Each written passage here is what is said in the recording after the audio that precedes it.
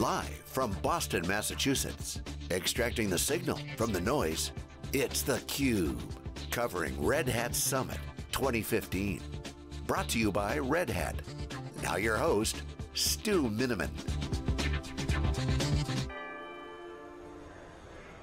Welcome back to Red Hat Summit 2015 here in Boston. So much discussion about software reading the world and how open source involved in it. Of course, Red Hat has been in the center of this discussion for a long time.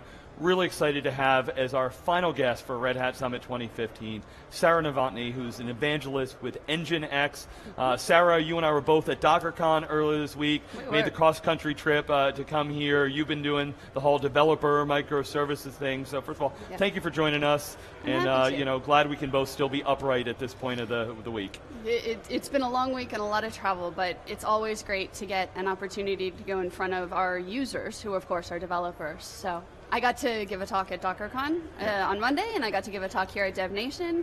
Very different audiences, but great fun. All right, yeah, you know, I, we're, we're going to dig into, I mean, the pros and cons of microservices. I mean, I'm still trying to figure out the, you know, 12-factor applications and all these Yep. things that fit. You know, containers is something we're all been keeping a close focus on in, in the last year plus. Um, but for our audience, since it's your first time on theCUBE, just give us a little bit about, you know, your background, what Sure. led you into, you know, being a speaker at developer conferences, and then, then we'll talk about NGINX and, and the rest of it. Sure, happy to.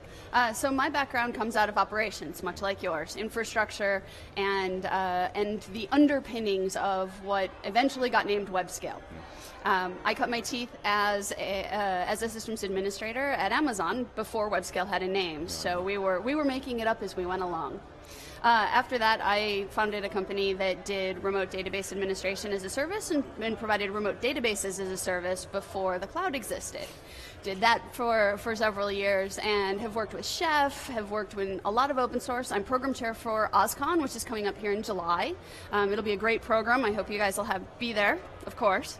And then, uh, and I'm now focused with uh, NGINX as their head of developer relations and doing evangelism for them. Wow, so, so your career's been hipster, basically, doing every cool thing before we knew it was cool, right? Uh, we can hope so, but but that means that Nginx, you don't know that Nginx is cool yet. So yeah. let's Okay. talk about why. Yeah, so let's talk about NGINX. Sure. Uh, so Nginx began 10 years ago as an open source project that was trying to solve the simple problem of putting 10,000 concurrent web connections on 2002 hardware. Now, as you may remember, you probably are old enough, uh, 2002 hardware is roughly what we carry around in our pockets today in a phone. So imagine trying to put 10,000 concurrent web connections on your Android device. We do have an ARM build, by the way, which is very nice to know from, from Nginx. Oh, Dave Vellante is going to be sorry he missed this. He said uh, he, he, he's mentioned this a couple of times. He had uh, uh, somebody he knows that just graduated from school at Mm-hmm. Carnegie Mellon and said, you know, I want to like start a company. You know, I want ARM on, you know, Linux on Right. ARM, and super Yep. excited about how that's going to drive IoT. Yeah, So. uh, and IoT is a whole separate space of awesome and tipster land if we want to go there. all right. So But Nginx. yeah, yeah, uh, NGINX. yeah. we should stay focused for just a few minutes. Squirrel. Uh. What? uh, so, Nginx began as this open source project trying to solve the uh, C10K problem, and then has grown over these 10 years to encompass not only um, static asset delivery, reverse proxy, load balancing, uh, caching, SSL termination, basically all that edge of network application acceleration that exists that a developer wants control of but used to live in the network. Wow. So yeah, I mean, gosh, I think about 2002. uh, I was working with Red Hat back then. I worked Yep. for a large storage company, and Red Hat Advanced Server, what turned into RHEL eventually. Boy, it was making it easier for us to at least support that and Yep. test that thing. Um, but you know, so limited. In open source was the stuff that was used kind of in the back corners by like Bob that we don't talk about. the real stuff. Yeah, yeah. I, I, I would talk to the CIO and say, "Are you doing Linux?" He's like, "No, and wait, no, no. We're, we're using it back over here." But shh, Right. shh, It's don't under talk my about, desk. We don't you know, talk. we, we, we've had that real flip over the last, you know, three years. I feel it used to be open source was something you didn't talk about if you're doing. To now, like it's like you're using open source, right? Because Yeah. that's the way. Uh, maybe can, can you talk? What have you seen in that? Because you've been involved through that, through that whole landscape. When was that bit flipped? And you know why? You know why is it so you know critical and you know a must as opposed to you know a maybe? So there are a lot of lot of different theories on this. Um, 2010 is when I really saw the the flip from it being suspect in the enterprise to it being a default. Uh, and you're watching the open source community at this point change from being in opposition to the, the big players and instead trying to learn to embrace. You were speaking a little bit earlier about OpenStack. They're trying to embrace the big players in this space.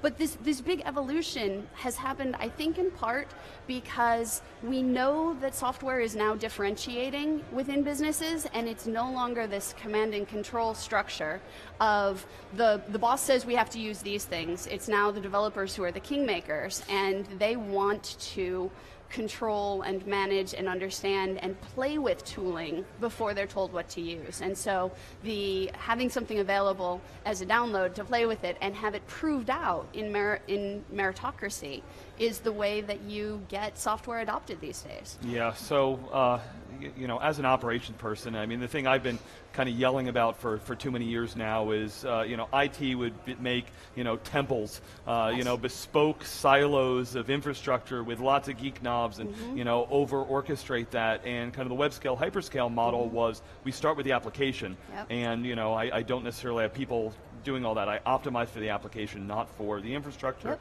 and, and, that's something we're, we're, talking about a lot. So maybe get into that a little bit. Yeah, sure.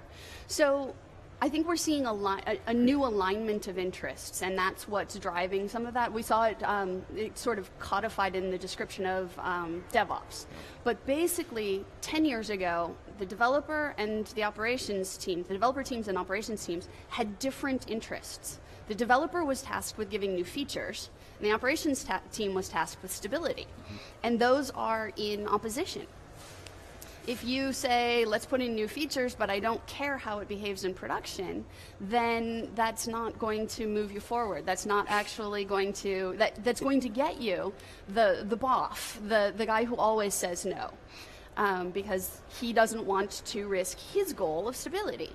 So we had developers and operations in contention as opposed to uh, together. But as we've seen businesses evolve and learn and know that what differentiates them is the feature set in their software, is their ability to change the user experience, to respond to their user experience, then you have an alignment of the interests of both stability and feature sets around better delivery and faster delivery and the user experience.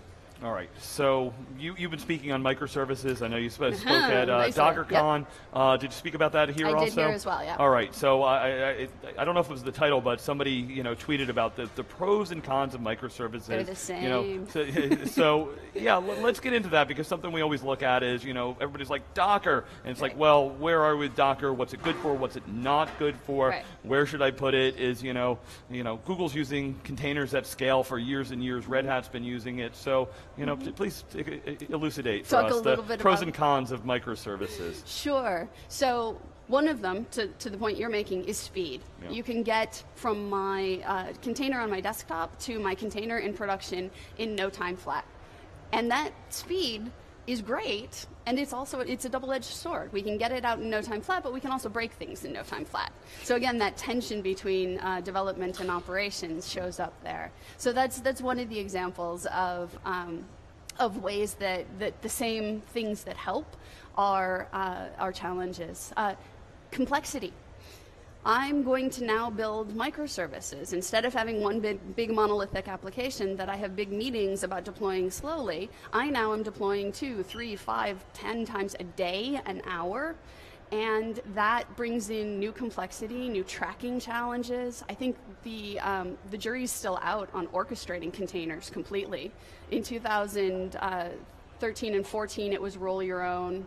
Um, 2000, end of 2014, we started seeing some open source projects coming to fruition. The I'm I'm not so ashamed of this code that I'm not willing to share it anymore. So we've got Kubernetes out, we've got Swarm out, we've got um, Docker Compose out. There are a dozen open source uh, other open source projects working at this. And so now people have so many options. But what are the best practices? what are the um, what is going to be the convergence point what is the tool set that is going to emerge from this i hope late 2015 2016 as the standard in order to make the enterprise more comfortable because again it, operationally it's very difficult right now to run containers without having the depth of skill that someone like google or red hat or um, the, the larger web scale companies have Yeah. Um, can you help just lay out for us kind of the, the DevOps movement, Docker and microservices? Uh, I saw somebody on Twitter said, you know, Docker was all anybody talked about last year. Now it's like microservices is all all there, but I mean they're all interrelated a little They bit. are. So can you just help lay out for us, you know, th- Sure. those those three? So I'll, I'll harken back to Chef in say 2011 or so when um, DevOps was being coined as a term, and when the description was infrastructure as code. So you have now the concept of a trackable and um, and uh, version controlled infrastructure. So I say definitively this is the state that my infrastructure should be in, and I run these tools to build this this infrastructure state. Uh, so that was Chef in 2011. That was the beginning of DevOps. It was all about repeatable, maintainable, orchestratable uh, infrastructures. And then we saw containers show up, and then it becomes well, we saw cloud being a big uh, a big mover in that and a big um, operational uh, backwind for or wind in the sails of DevOps. Then containers existed, and containers have existed for years, but Docker has made them um, more accessible to your average uh, developer or operator, for lack of a better term, DevOps person, uh, administrator. So putting a wrapper around that makes it simpler to interact with means that you have more people adopting it and more people trying to put it into production. DevOps, again, is looking at this as an evolution from uh, infrastructure as code to immutable infrastructure. We never actually change anything. This is moving from the idea you were talking about these silos in enterprise, where this was this was my favorite server, and I have saved it We and worked them. with it. We did, we did. We spent hours thinking of naming conventions for them. One of the largest arguments I ever saw at Amazon was about the naming convention for servers oh at one point in '97. So naming conventions. Yeah, could you imagine Amazon trying to name, Name how many servers you know now? servers No. they have? No. No. So so we used to this is the servers as pets. So Yes. we knew them. They had personalities. Right, they right. were our friends. They called us at two in the morning.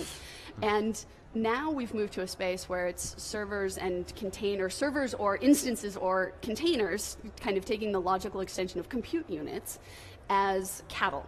If it's not doing what you think it is, shoot it. Hmm. Eat it, move on to the next one, build another one.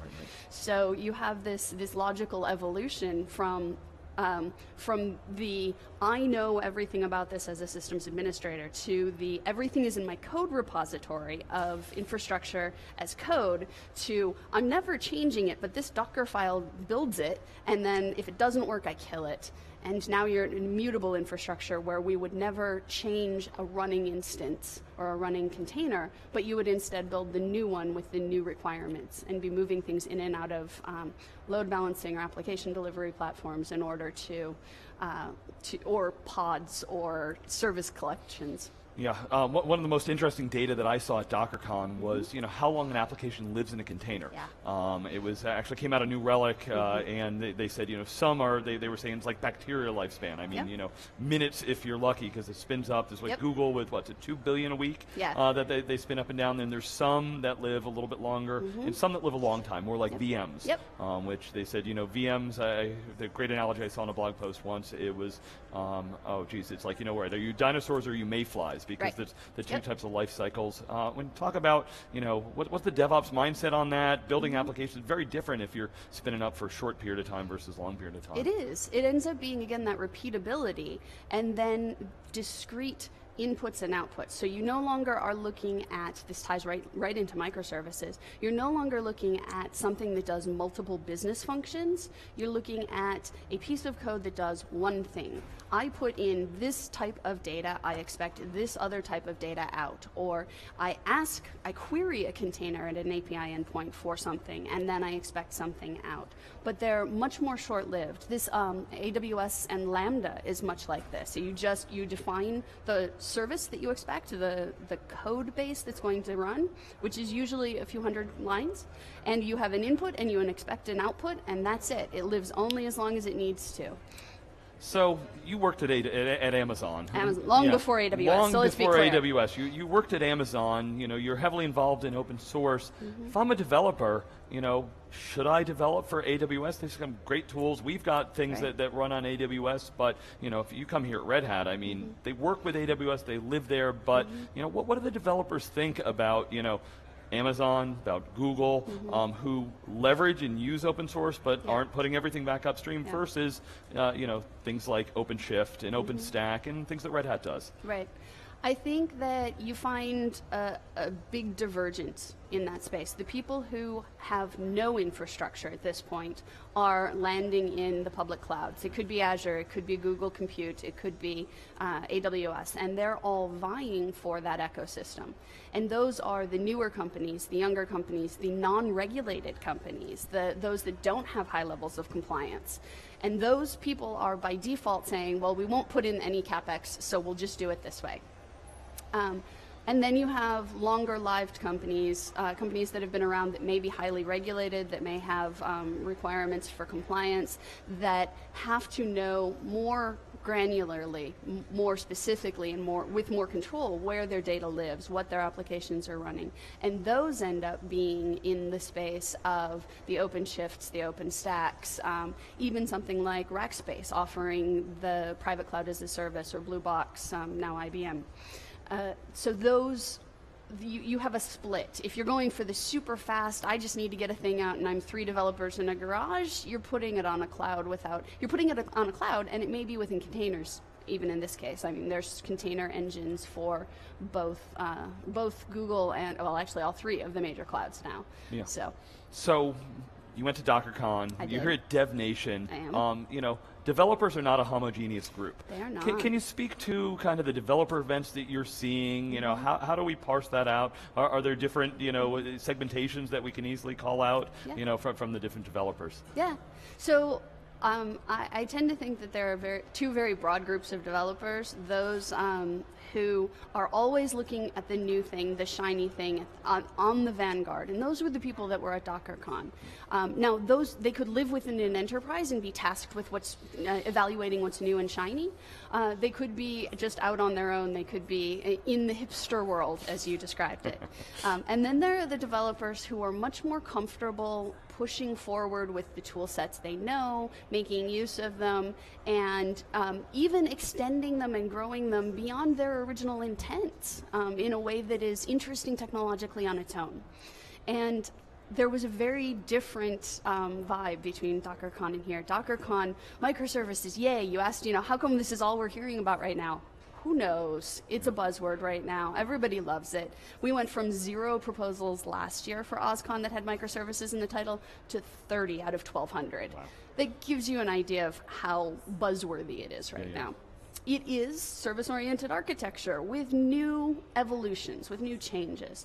But here, or sorry, at DockerCon, nobody said, well, how is this really different from SOA? And here at um, DevNation, there was a lot of, well, how is this really different from SOA? We've been doing this. What is different? Why is it more interesting? Why is it better? What are the pros and cons of it? And and it was very interesting to have that pushback going. It's not shi- it's not just shiny, and it's not you know everybody on the bandwagon. Yeah, it, it's it, and sometimes it, it's just the technology catching up and Mm-hmm. being ready for it. Uh, you know, I was at the CTO office at EMC, and Jeff Nick, an IBM fellow, in there, you know, he talked about you know enterprise service bus and SOA Mm-hmm. Yep. architectures and Yep. you know RESTful APIs and everything in 2007. And me being an infrastructure and networking guy, I wasn't ready for it. And today, talk about platforms and APIs and plugins and everything. It's like, oh wait, it's an extension Yep. of w- what we're there. So Yep. it, you know you, said before, you know, d- quoted the, the book, you know, developers are the new kingmakers. Right. Um, you know, how much of the world does this take over? How much are companies ready for it? Um, and how much of a shift is this going to be for, you know, IT staff as we see it? I think IT staff are adapting and adopting and learning. One of the best parts of tech is that you are always learning. It is always changing. But again, it's that double edged sword. So I think you see a lot of operations people um, responding sometimes with a bit of fear that if they don't adapt, they will be left behind.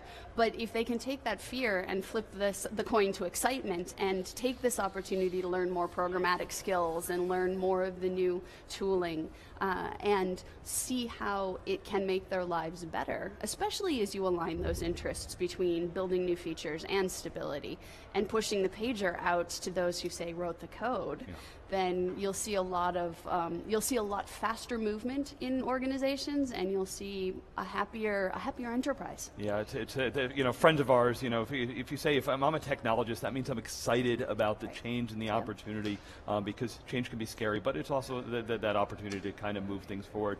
Um, Want to give you the last word, um, you know, Nginx, yourself, Yep. you know, how do we learn more? What do you recommend? Uh, you know, this great way to end. Last year we had Gene Kim on the program. Oh, uh, yeah. For everybody that hadn't read, you know, his book is usually The one Phoenix of the first Project, ones, yeah. the Phoenix Project, to say to learn more about this. Yep. Um, you know, help help us close it out on, on the Okay. Dev Nation piece. So, Yeah. Phoenix Project, Yeah. a great, a great book, um, metaphor and story around the evolution of the enterprise. Um, Nginx.com, of course, has lots of information about both uh, open source and our commercial product and the differentiation we're doing there. Um, I'll be at OSCON the whole uh, third week of July, so any of you who wants to visit there, it's a great show. Um, and people can find me on Twitter, which is just Sarah Novotny. Awesome, Sarah. Thank you so much. Uh, And it's great to finally meet you Absolutely. in person. Absolutely. I mean, it's what we love is always, you know, if you've known each other through Twitter for all these years, get to meet in person, have the kind of conversations that we've had through the Twitter and bring, bring it out to our environment. So, great way to wrap it up. Thank you, Sarah. We'll be right back with a wrap up here from Red Hat Summit 2015. Thanks for watching.